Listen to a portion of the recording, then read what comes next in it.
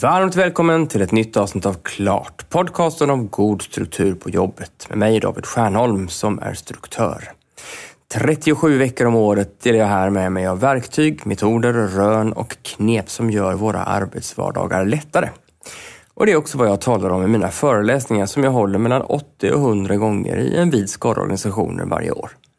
Vill du att jag kommer till ditt jobb efter årsskiftet så är det ett bra läge att höra av dig till mig nu, så talar vi om saken. Maila mig på david.stjärnholm.com helt enkelt. Men nu till dagens avsnitt som handlar om en handfull rekommendationer för dig som arbetar i Outlook.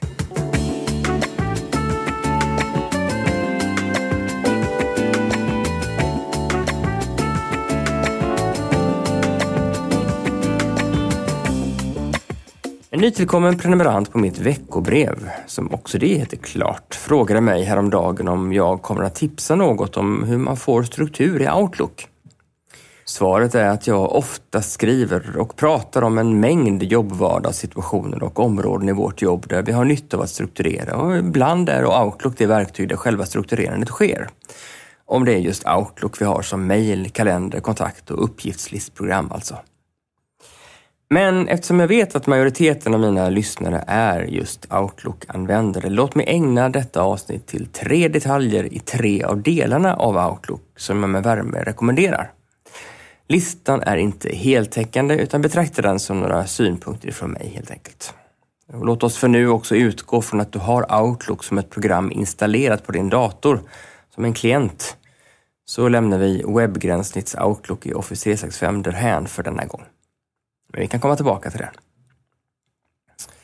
Först, att mejla i Outlook.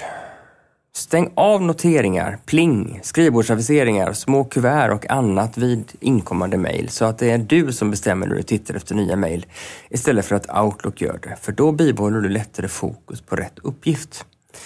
Du kommer att komma ihåg att du har ett mejlprogram utan de här aviseringarna, tro mig.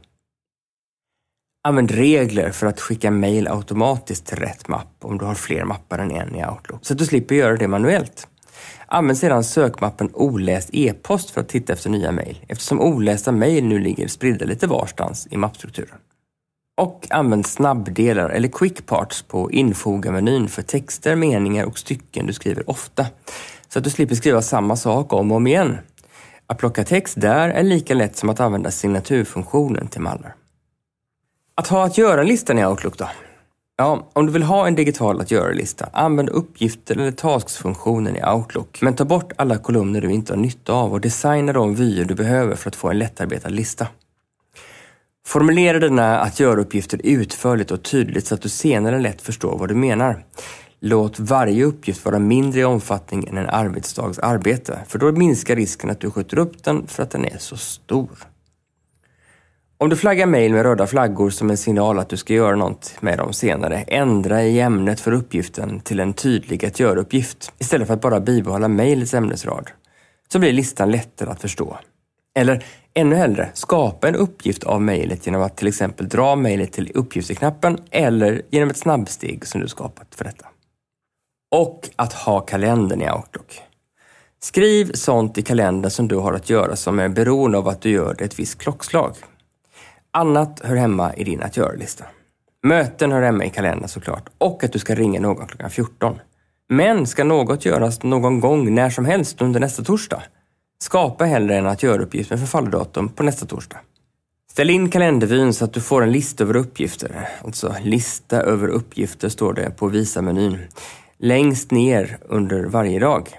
Då får du lätt en helhetsbild över vad du har att göra respektive dag. Dels sånt som finns i kalendern, dels det som står i att göra-listan. Och skapa ytterligare en kalender som du låter vara mallen eller normen för hur du vill att dina veckor ska se ut. Önskar du att någon dag är helt mötesfri? Boka upp hela den dagen i normkalendern och skriv företrädes mötesfritt i mötesbokningen. Lägg in i den här kalendern allt det du har nytta av att förhålla dig till när du planerar din riktiga kalender.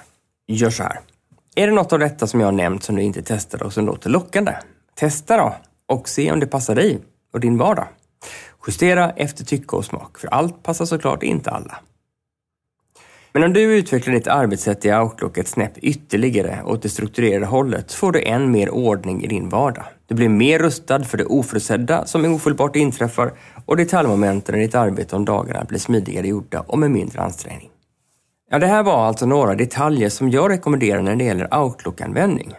Vad har jag inte tagit med som du vill slå ett slag för? Skriv till mig på david.stjernholm.com och berätta. För jag är nyfiken på att höra vad du funnit som jag inte har tänkt på. Har du en kollega eller någon annan i din närhet som skulle ha nytta av att höra om de här rekommendationerna? Berätta om det du tyckte var mest värdefullt för den. För ju fler av oss som arbetar strukturerat, desto smidigare blir allas våra arbetsvardagar. Tack för idag och på återhörande nästa vecka.